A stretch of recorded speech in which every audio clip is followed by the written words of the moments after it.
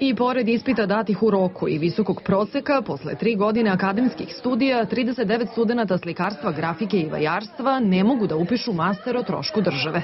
Iako je Fakultet likovnih umetnosti još u aprilu zatražio od Ministarstva prosvete kvotu od 45 akademaca, vlada je tek prošlog petka u službenom glasniku objavila da će ih biti 30.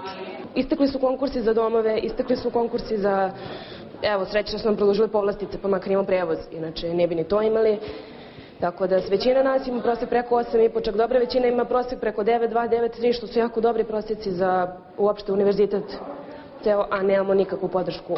Jedan od problema koji navode studenti je taj što su primorani da studije nastave, jer zbog takozvanog sistema školovanja 3 plus 2 posle završene 3 godine nemaju nikakvo zvanje. Mi sa tom diplomom ne možemo ni u osnovnoj školi da radimo.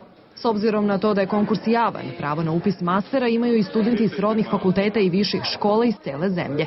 Time se mogućnost akademcima fakulteta likovnih umetnosti dodatno smanjuje. Pošto smo u sistemu 3 plus 2, Dešava se da to da i ovi kolegi koji su na sistemu 4 plus 1 isto mogu da konkurišu na našem fakultetu, ali mi ne možemo na njihovom. Gubimo mogućnost konkurisanja na drugom fakultetu, a studenti sa strane ugrožavaju naš upis, U Ministarstvu prosvete situaciju objašnjavaju time što je kvota za doktorske studije povećana, pa da je samim tim za master morala da bude smanjena. Mnogim fakultetima ta kvota ne odgovara, međutim to je ono najviše što se moglo u ovom trenutku uraditi s obzirom na raspoloživa sredstva koja, kao što znamo, nisu preobilna.